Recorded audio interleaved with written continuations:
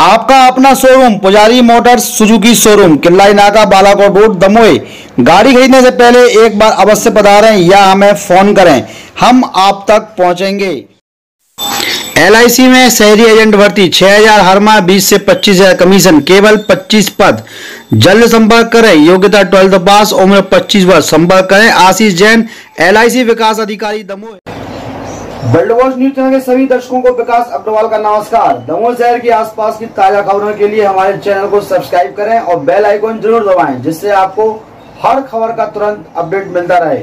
आइए नज़र डालते हैं बड़ी खबर पर। ज़िले में लगातार दो पक्षों में जमीनी विवाद को लेकर घटनाक्रम सामने आ रहे हैं। बीती रात दमोह ज़िले के पथैया थाना क्षेत्र में जमीनी विवाद को लेकर दो पक्षों में जमकर विवाद हुआ, जहाँ गाँव के 15-20 लोगों के द्वारा एक परिवार पर हमला किया गया। परिवार के सात लोग गंभीर रूप से घायल हो गए।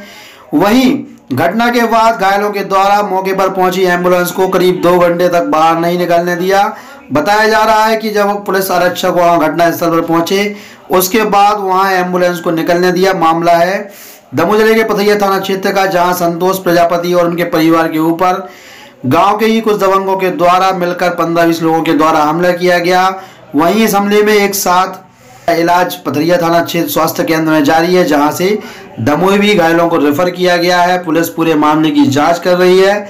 घटना के संबंध में परिवारजनों ने विस्तार से जानकारी देते हुए बताया, क्या कहना है परिवारजनों का, सुनते हैं। पुलिस पूरे मामले की जाँच में जुटी हुई है।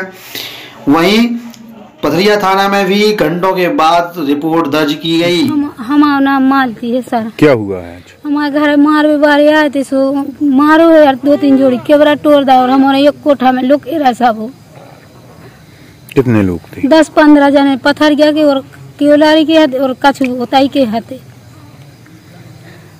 हाँ। सब एंबुलेंस मांगो बोलवा तो इनके पापा को गई और मारा तरह सामने। कचोड़ कचोड़ के एंबुलेंस मंगवाई से पे बैठा नहीं देवे कि वो पे बैठा नहीं देते कहते के भगवते से वो उन्हें के सब मारवे भेड़ गए थे यार।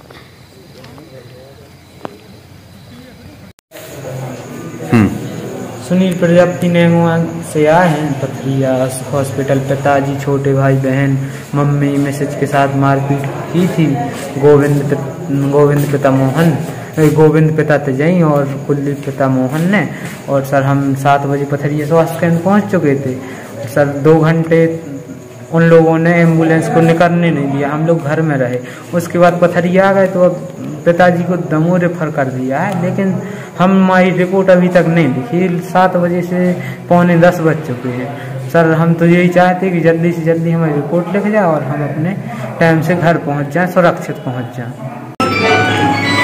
भैया, छोटे भैया खेत में पानी मोटर चला रहा तो गोविंद प्रजापति आए, अचानक से छोटे भैया हमारो पापा एक जगह ट्रैक्टर चला रहे थे तो पापा हूँ पता चली तो पापा ट्रैक्टर लेके आए तो पापा हूँ भी बहुत मारे तो पापा को एक हाथ टूट गया और सिर में चोट आई है, टाँके डर, लगभग डॉक्टर साहब बोले, टाँके आए और मम्मी को भी मारो और एक छोटा सा बच्चा है, अभी सात छः छः दिन का है।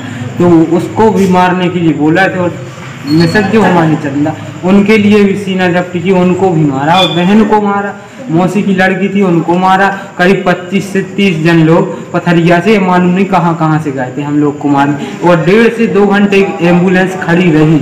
उन उन लोग ने हमको एंबुलेंस में बैठने नहीं दिया और पुलिस भी थोड़ी लेट हुई, लेकिन पुलिस पहुँच गई। लेकिन हम लोग